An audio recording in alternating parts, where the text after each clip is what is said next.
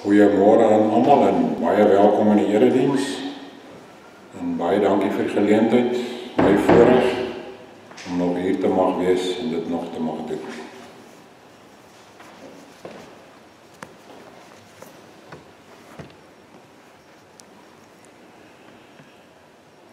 Ons hulp is in die naam van die Here wat hemel en aarde gemaak het. Genade, ontferming en vrede van God ons Vader en ons Here Jesus Christus deur die kragtige werking van sy Heilige Gees. Amen. Gemeente, kom ons antwoord die Here op sy seëngroet. Ons antwoord kom met Lied 169 vers 1, 2 en 3.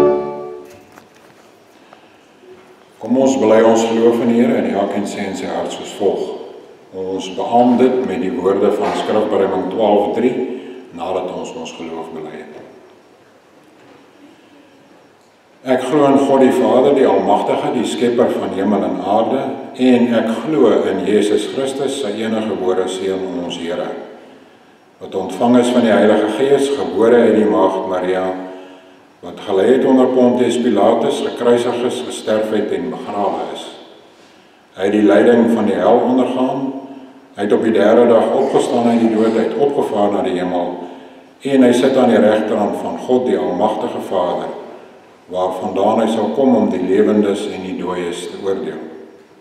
Ek glo in die Heilige Gees. Ek glo aan 'n heilige algemene Christelike kerk. Ek glo in die gemeenskap van die heiliges. Ek glo in die vergifnis van sondes. Ek glo in die opstanding van die liggaam en ek glo in 'n ewige lewe. Thank you.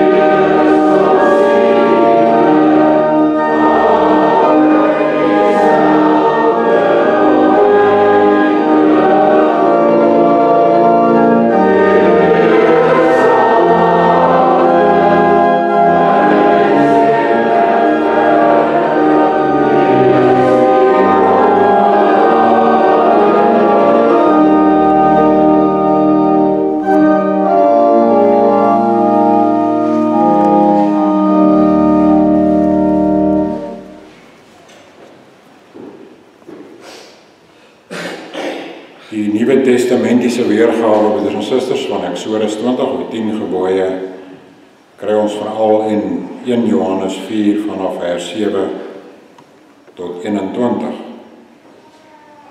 In hierdie gedeelte broeders en susters let daarop dat die woord geliefde, lief hê en liefde ongeveer 30 keer in hierdie paar verse na vore kom. 1 Johannes 4 vanaf vers 7 Geliefdes, ons moet mekaar lief hê want liefde kom van God. En elkeen wat liefhet, is 'n kind van God en ken God. Wie nie liefhet nie, het geen kennis van God nie, want God is liefde. Hierin is God se liefde vir ons geopenbaar. Sy enigste seun het hy na die wêreld toe gestuur sodat ons deur hom die lewe kan hê.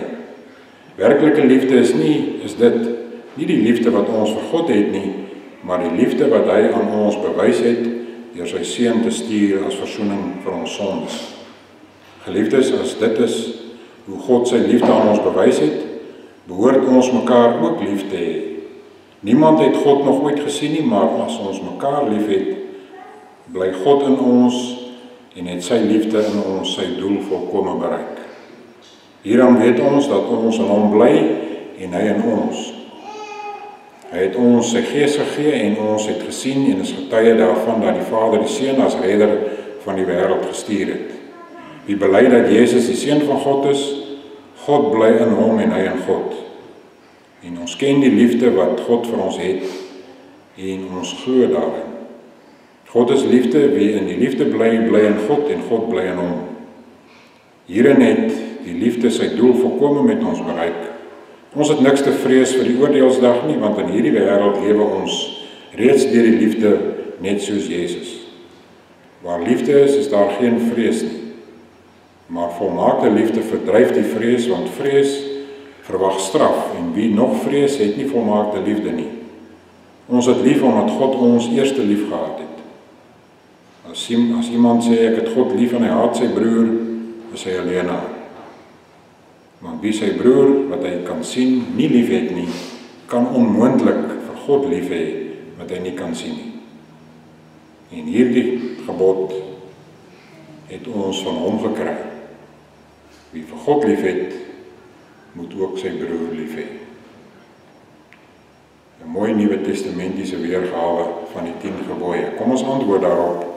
Psalm 30 vers 2 en 5.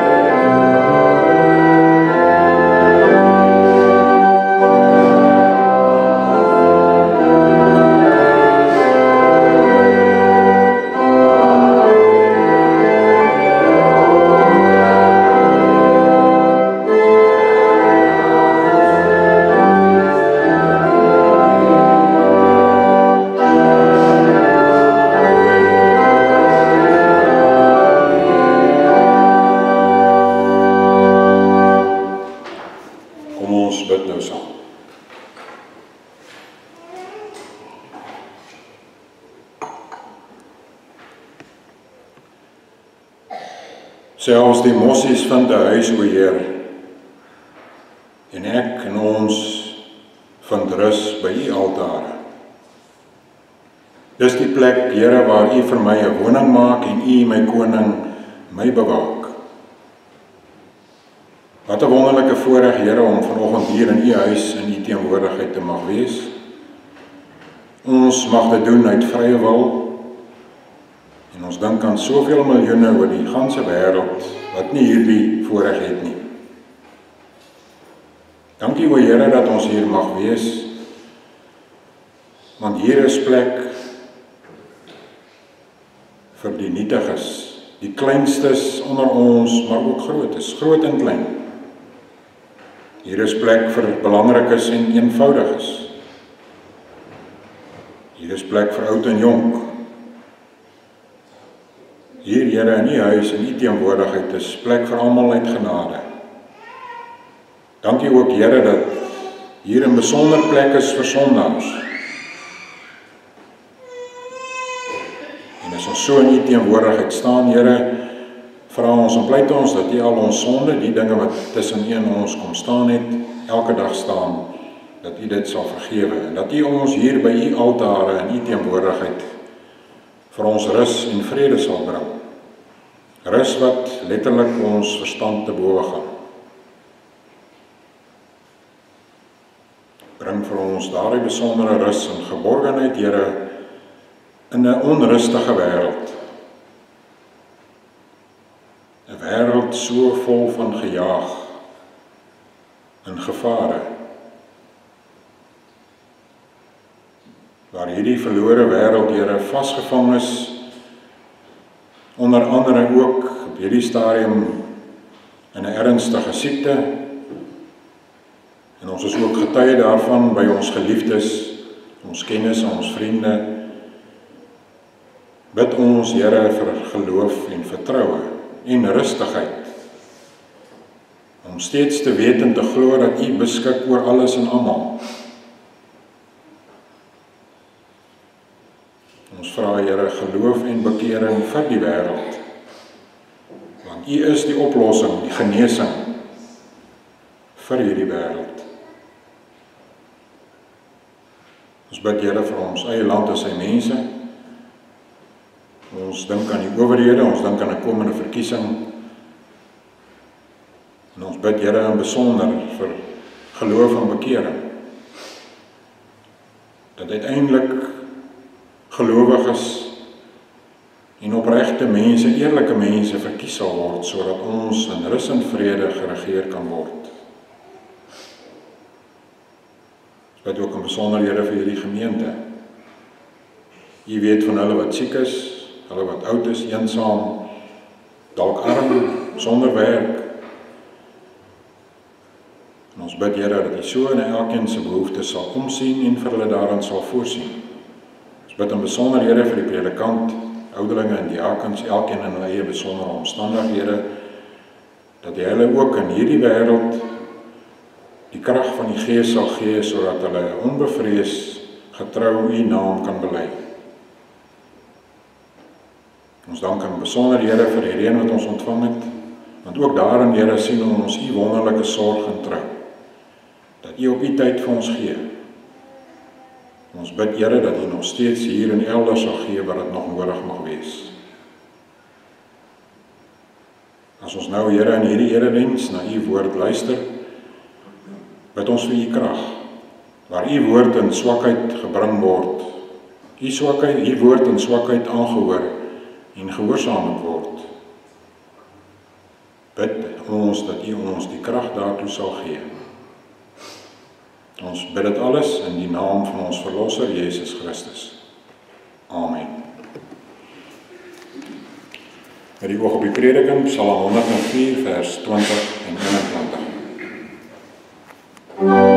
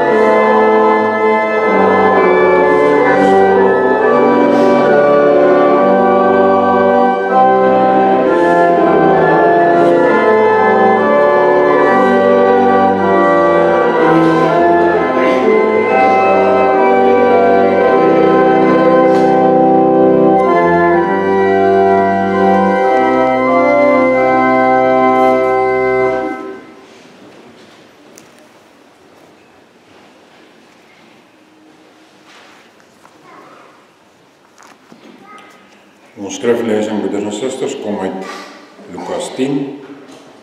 Lukas 10 vanaf vers 21 tot 37.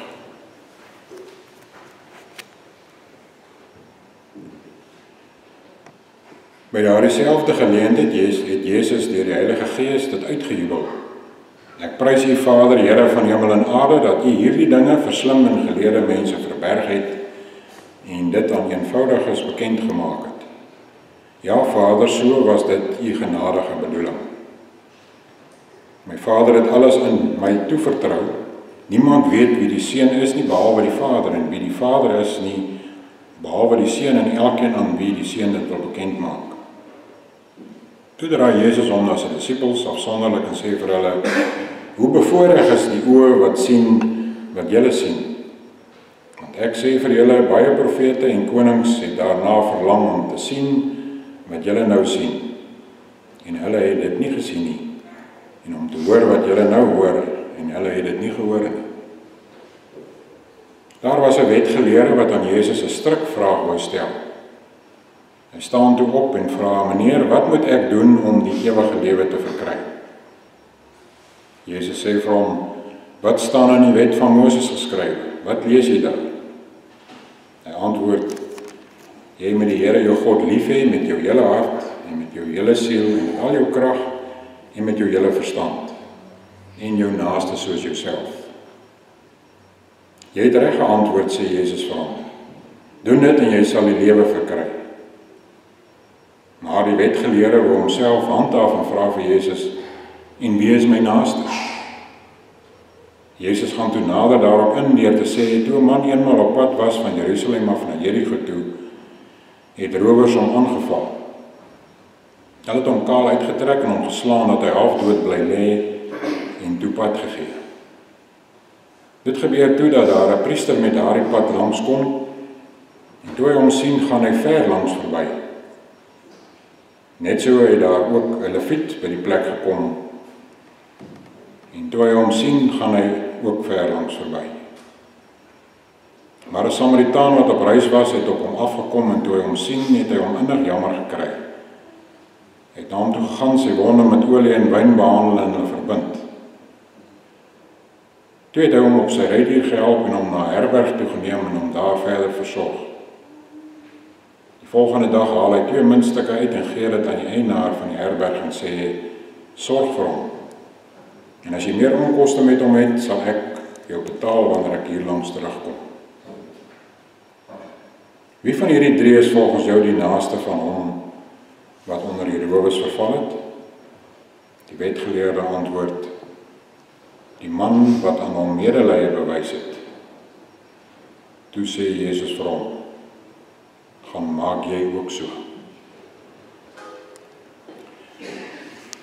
Kom ons gebruik as tekswoorde broeders en susters vers 29 Maar die wetgeleerde wou homself handhaaf en vra vir Jesus en wie is my naaste? Vers 36 en 37 Wie van hierdie drie is volgens jou die naaste van hom wat onder die roos geval het? Jesus gevra Die wetgeleerde het antwoord: Die man wat aan hom medelee bewys het. Toe sê Jesus vir hom: "Gaan maak jy ook so." Kom ons gebruik as tema vir hierdie boodskap broeders en susters. Dit gaan oor my lewenspad. En hoe naby ver sou wees.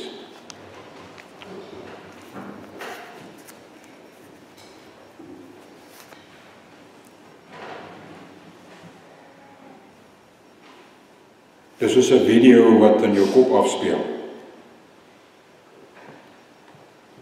Die toneel maak oop op die pad tussen Jerigo en Jerusalem. 25 km bergagtig. Verskriklik gevaarlik. En as hierdie videobeeld oopmaak, dan is dit die pad, hierdie grys pad tussen hierdie twee stede te sien. In die gruispad sien ek 'n man lê.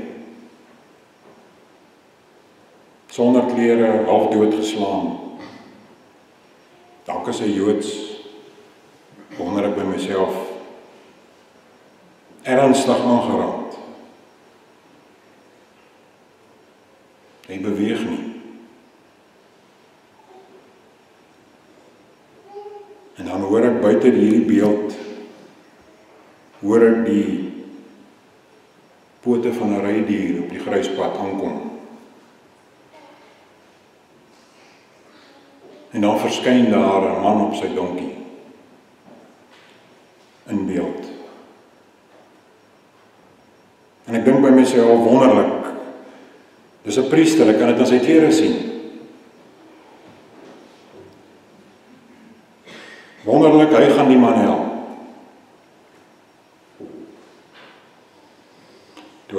Toe hy die man sien, net een kyk gegee draai om hom gery en hy verdwyn uit beeld uit. En ek wonder by myself terwyl ek hierdie video kyk. Hoekom? Hy's tog 'n kerkmens. En ek verskoning soek ek dog by myself, dalk is hy moeg, so ver pad, 25 km tussen Jerigo en Jerusalem. Dalk is hy bang die rowers kom terug.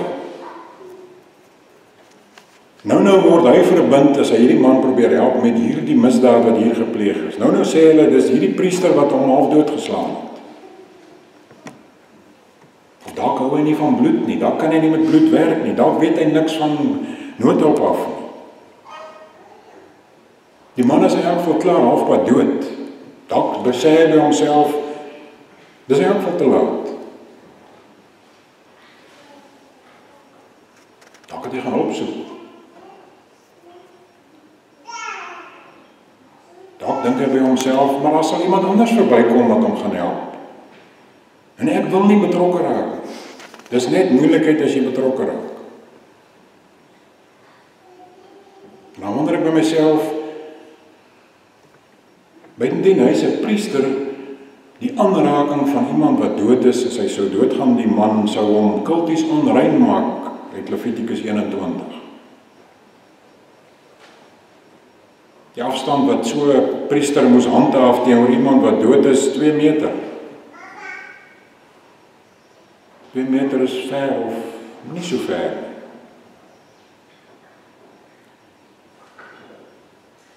Hoe ver broeders en susters kan naby wees?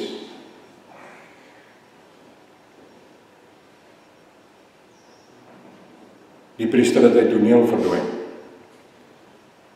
Die volgende wat ek weer hoor is weer iemand wat in aantog is op die kruispad. En hier verskyn nog iemand in beeld. Wonderlik dink ek by myself, dis 'n leviet, nog 'n kerkmens. Hy gaan iets doen. Halfdooie bebloede man so een kyk gegee en ook ver verbygegaan besef ek maar hy wil ook nie kulties onrein gemaak word deur dalk aan 'n dooie te raak nie. En ek wonder maar myself hoe ver kan naby wees.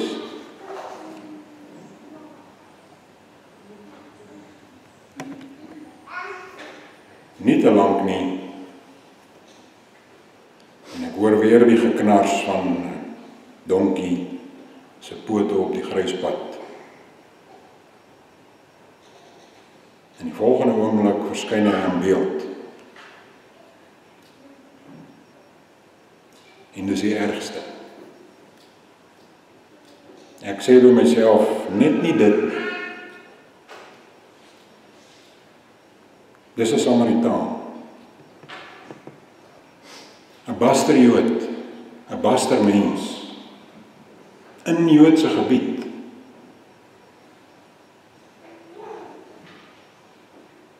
Hulle het mekaar intens gehaat, die Samaritane en die Jode, die aardsvyand van die Jode.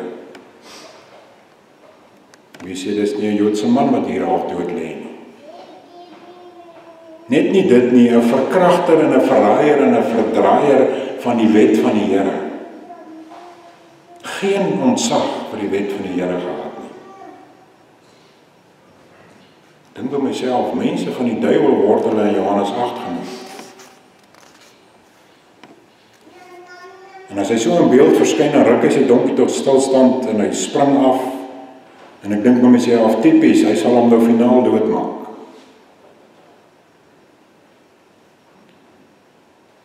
Hy ruk sy saalsak oop. Om een of ander wapen uit te haal om die man meer finaal van kant te maak. Tog lyk hy aggressief nie. En dan sien ek wat hy te voorskyn haal, 'n fles olyfolie en wyn. En nou sien ek sy gesig. En ek sien deernis. Ek sien dat die man regtig omgee.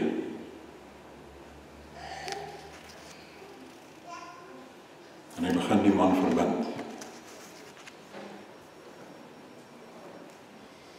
Opval, broeders en susters, toe hy by die man gaan kniel of die man bewusteloos was of nog by sy positiewe was, weet ons nie. Maar hy probeer nie met hom praat nie. Hy vra nie vir hom wat het met jou gebeur nie. Hy skud nie en vra hom wat wat is jou naam? Wie is jy? Waar kom jy vandaan? Hoekom het dit met jou gebeur? Wat maak jy in hierdie stil pad, in hierdie gevaarlike pad wat ons almal weet gevaarlik is? Hy vra nie vir hom, "Hoor jy, is dit jou eie skuld nie? Het jy moeilikheid gesoek? Drink jy dalk? Wat maak jy hier alleen?" Behoort jy aan 'n kerk?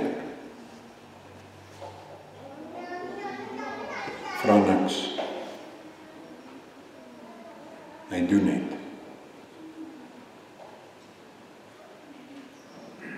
En dan dink ek by myself, hoe naby kan ver wees?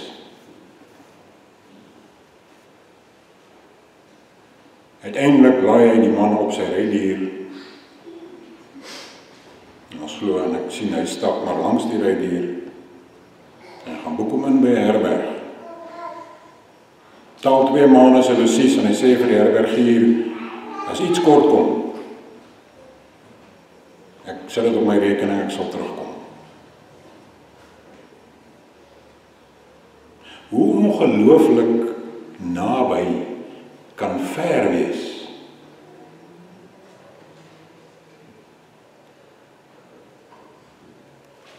Tot sover hierdie verhaal.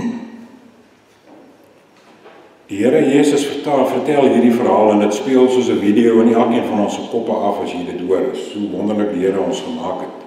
As jy so 'n verhaal hoor, dan maak elkeen sy eie beeld en sy eie video hier in sy kop van wat gebeur het. Die Here Jesus vertel dit na aanleiding van 'n vraag wat die skrifgeleerde hom gevra het. Skrifgeleerde vra vir die Here Jesus.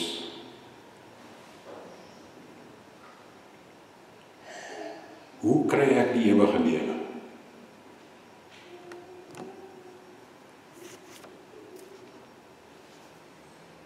Daar staan hy is besig om die Here Jesus te toets.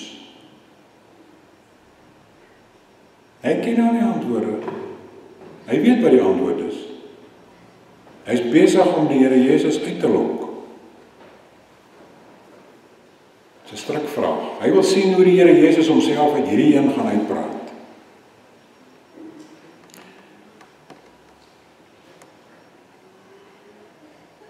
Dit wat hy hier doen, broeders en susters, is eintlik uitsonderlik. Die woord wat hier vir hom gebruik word as hy die Here uittoets word net 4 keer in die Nuwe Testament in die oorspronklike Grieks geskryf. Twee keer waar die duiwel die Here Jesus kom versoek het of getart het of uitgelok het. Een ander keer in 1 Korintiërs 10 waar daar verwys word na die Ou Testament waar toe die water uit die rots gekom het en die volk van die Here God getart het. En die vierde keer is hierdie keer. Toe hierdie skrifgeleerde wat die Bybel uit sy kop uit ken. Die Here begin uitlok. Ekstreme toets. Hy verstaan geloof as dit wat jy moet doen, dit wat jy verdien. Hy ken die 613 wette wat die skrifgeleerdes en die fariseërs gemaak het uit sy kop uit. En hy vra vir die Here Jesus wat moet ek doen? En as mens nou op die woord ingaan, dan kom jy agter hy vra vir die Here Jesus wat watter pad moet ek loop om by die ewige lewe uit te kom? En in sy gedagtes is die ewige lewe 'n baie ver plek. Wat moet ek doen? Die pad wat ek moet maak om by die ewige lewe uit te kom. Hy besef nie dat geloof 'n reaksie is op dit wat God doen nie. Hy besef nie dat geloof is net 'n dankbaarheids gebaar oor dit wat God reeds klaar gedoen het.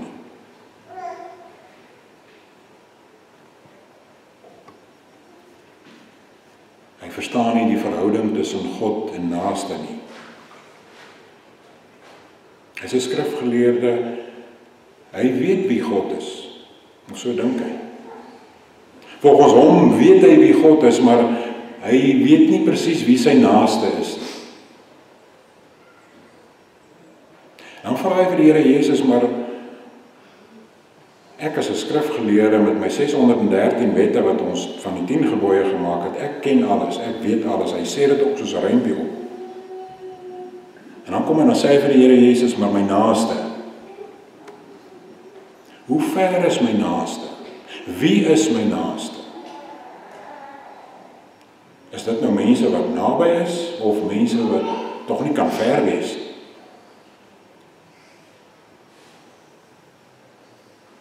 Sê vir die Here Jesus, ek soek 'n definisie. Ek soek 'n beskrywing, reëls, grense, beperking. Wanneer is genoeg genoeg? Wanneer moet ek liefde bewys teenoor my naaste, teenoor ander mense? Daar moet tog 'n reël wees, daar moet tog beperking wees. Here Jesus, dit kan mos nou nie so ver wees dat dit oneindig is nie. Grenslose liefde is tog is tog onprakties, onnodig, mors van tyd en energie. Kan tog net nie te ver wees nie.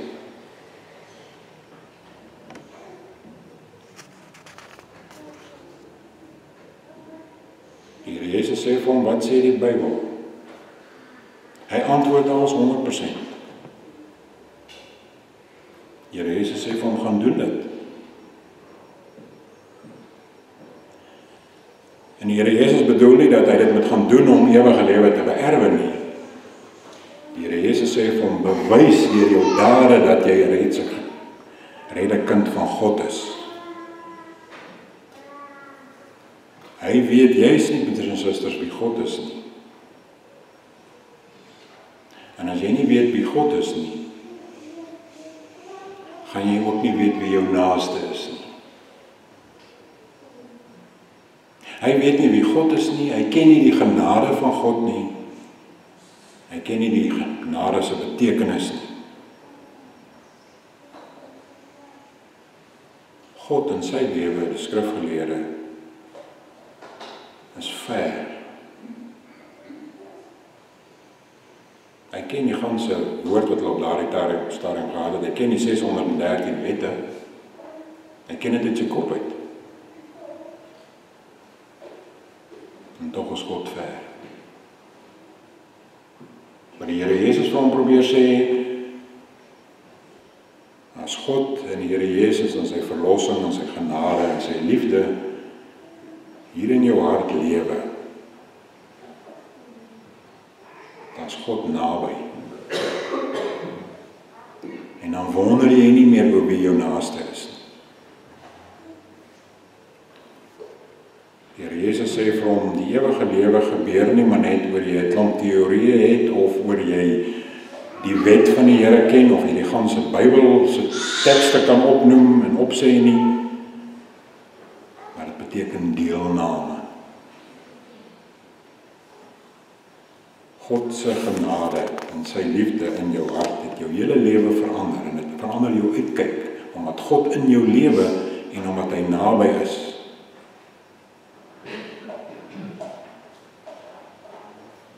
Demonstreer dra jy dit uit. Weet jy wie naby is en wie jou naaste is? Liefde is 'n gawe van God. 1 Johannes 7:4 wat ons by die wet gelees het. Liefde broeders en susters wat ons as gelowiges uitdra is nie een of ander soos iemand gesê het 'n sporadiese bevlieging met jou beetpak en nou gaan ek dit doen nie. Dis 'n leefwyse. Nadat ek en jy deur God se liefde verander is en ek dit in ten diepste in my hart besef en glo en gesmaak het dan word ver word naby so word Christendom dan geloofwaardig. 1 Johannes 4 wat ons gelees het. Ons kan God nie sien nie. Die wêreld daar buite wat verlore is, kan God nie sien nie. Maar hulle kan my en jou optrede sien as gelowiges. Die Samaritaan broeders en susters wat in die oë van die Jode ver was en verworpe is en 'n bastermens was. word beskryf hier hy wat ver was het so ongelooflik naby gekom en hy het gedoen wat God van hom verwag en gevra het. Soveel so broeders en susters dat die woord wat hier gebruik word vir hierdie Samaritaan kom net een keer in die Nuwe Testament en eintlik maar in die hele Bybel voor, net een keer. Die Here Jesus beskryf hierdie Samaritaanse werk, hierdie deernis en hierdie toe hy hierdie man se wonde verbind het en sy na sy trauma omgesien het. Beskryf die Here Jesus net een keer in die Bybel. So uitsonderlik was hy daar. Dit hou moontlik verband uit met 2 Kronieke 28 gaan lees dit maar by die huis. Samaritane in 2 Kronieke 28, dit van die Jode, God se volk as slawe gevange geneem en toe die profeet vir hulle gesê God gaan julle straf. En toe die Samaritane in 2 Kronieke 28 hierdie Jode versorg, klere aangetrek en hulle vrygelaat. Dis dalk wat hierdie Samaritaan onthou het uit die geskiedenis. Hierdie Samaritaan broeders en susters betaal die herbergier terwyl die rowers hom beroof het en gevat het. Hierdie Samaritaan verbind hierdie halfdooie man terwyl die rowers en die priester en die leviet kerkmense weggegaan het.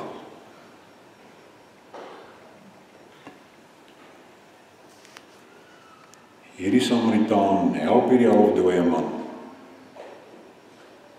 sodat hy kan lewe. Hoe anders kan ons as om te sê broeders en susters, dit nie die beeld wat die Here Jesus vir ons gebring het nie.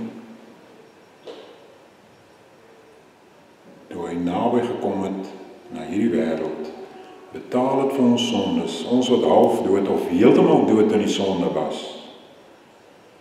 Terwyl almal in hierdie wêreld jou sal alleen laat. Die Here Jesus naby gekom in my lewe om my te red. So seldsaam was hierdie Samaritaanse werk in een woord beskryf.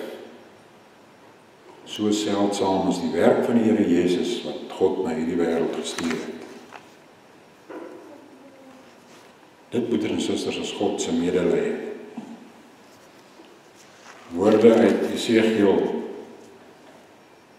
16 Ons wat ver was in die sonde. Jesegiel 16 Toe jy gebore is, is jou naaldstring nie afgesny nie, jy is nie gebad nie, nie met sout aangevryf nie en nie in doeke toegedraai nie. Niemand was oor jou besorg of het soveel vir jou oorgehad dat hy een van die dinge vir jou gedoen het nie. Jy is met afskeid behandel en in die veld weggegooi die dag toe jy gebore is. Dis maar ek en jy sonder geloof. Toe het ek God verbygekom en jou in jou bloed sien spartel. Ek het vir jou daar waar jy in jou bloed gelê het gesê leef. Ja, ek het jou daar waar jy in jou bloed in jou bloed gelê het gesê leef. Paar verse verder.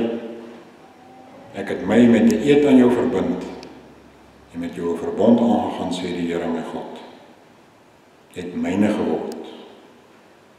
Ek het jou gebad, bloed van jou afgewas en jou met olie ingesmeer. Dit is wat God wat ver was uiteindelik in Jesus vir ons gedoen het en nou naby gekom het.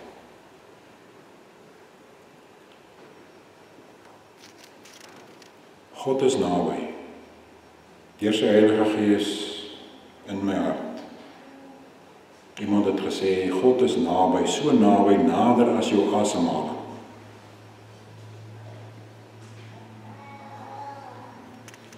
En as hy so naby in jou lewe is, wonder jy nie oor wie jou naaste is en wie ver of naby is. Jesus hang aan die kruis, half dood, uiteindelik dood. Sonder klere, doodgemaak deur ons voorouers, rowers. Sonder God is jy 'n rower. Vir 25 silwerstukke verkoop deur misdadigers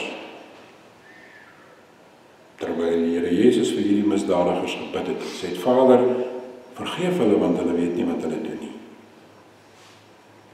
Dit is wat hy vir ons gedoen het. Dit is naby hy is. Daarom broeders en susters, as ons dit mag herhaal, God en naaste kan jy nie sien sonder dat God naby in jou lewe is nie. Nie om al die Bybeltekste te kan opsê nie, nie om die belydenis te kan sê ek glo in die gereformeerde belydenis nie. Maar omdat God se liefde in my hart in Jesus my lewe verander het. Kyk ek na ander mense daar buite, kyk ek na die wêreld daar buite anders as na wie ver en naby is. Matteus 25 sê die Here Jesus ek was honger, ek was naak, ek was siek, ek was in die gevangenis, ek was in die tronk. En die gelowiges het iets daaraan gedoen. Nog aan die gelowiges ewig geskok sê, "Ek kan dit nie onthou nie." Presies, sê die Here Jesus. Dit kom van self uit jou hart. Dis 'n outomatiese gevolg as God in jou lewe naby is. Die vraag broeders en susters is nie wie is my naaste nie, sê die Here Jesus. Hy draai dit om. Hy sê wie se naaste is ek? En daar's 'n baie baie fyn nuance verskil. Wie is my naaste het die skrifgeleerde gevra. In ander woorde, wie is my naaste? Wie van die mense daar buite is naby my en wie is ver? Nee sê die Here. Kom ons draai dit om. Wie se naaste is ek? Wat kan ek doen in hierdie wêreld? Wêreld kan God nie sien nie. Hulle sien gelowiges.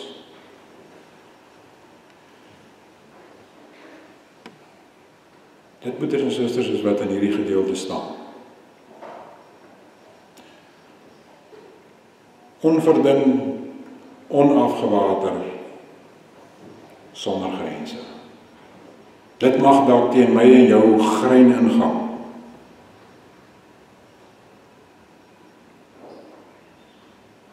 Ek sien dalk nie daarvoor kans nie. Dis wat hier staan.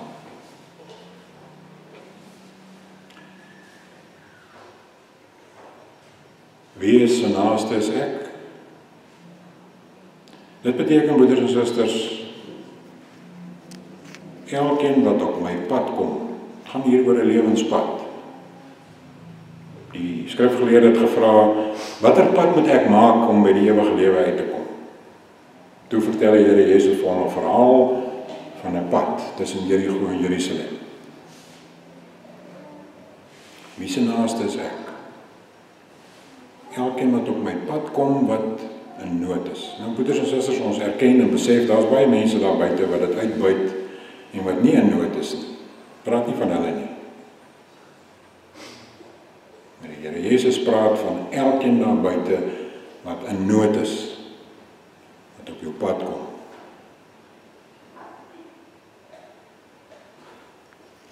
Of dit nou teen my grein ingaan of nie, dis wat die Here Jesus sê. Die grootste bekommernis van die Here Jesus in hierdie gedeelte Lukas 10, broeders en susters, is nie die half dooie man wat daar gelê het nie. Dis die kerkmense wat verbygeloop het.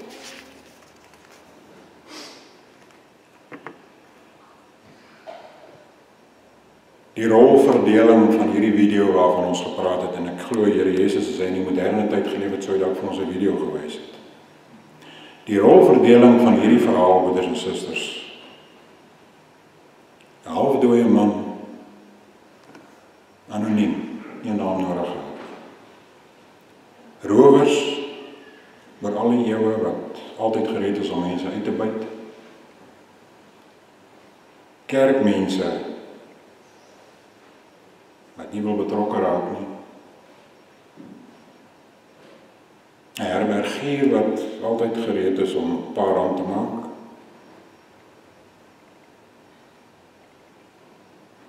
En hy het sonderlike Samaritaan wat die grootste deernis bewys het wat waarvan die Bybel in die Nuwe Testament gepraat het behalwe Jesus se deernis self. Die Here Jesus is die direkteur of die regisseur van hierdie verhaal. Hy is ook die persoon wat sy eie lewe gegee het. Hy is ook die een wat half dood geslaan is. Hy is ook die een wat die verbinding en die barmhartigheid bewys het. Mag die Here Jesus broeders en susters so naby in jou lewe wees. Amen. Kom ons bid saam.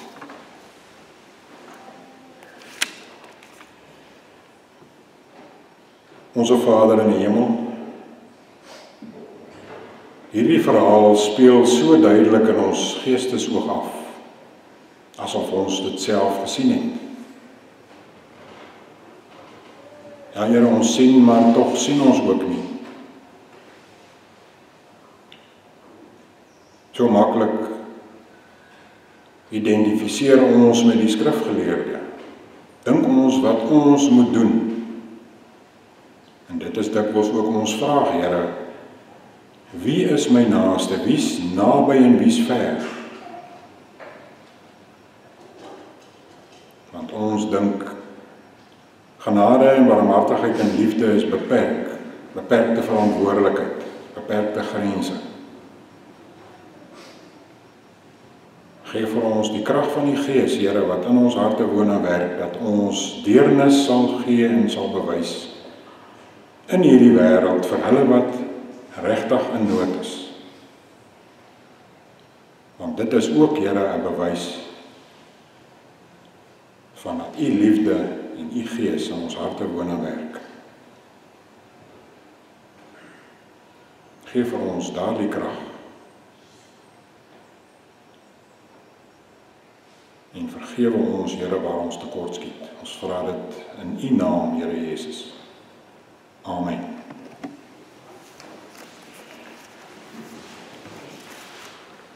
Kom ons sluit af Skrifwoorde 2:4 vers 1, 2 en 3.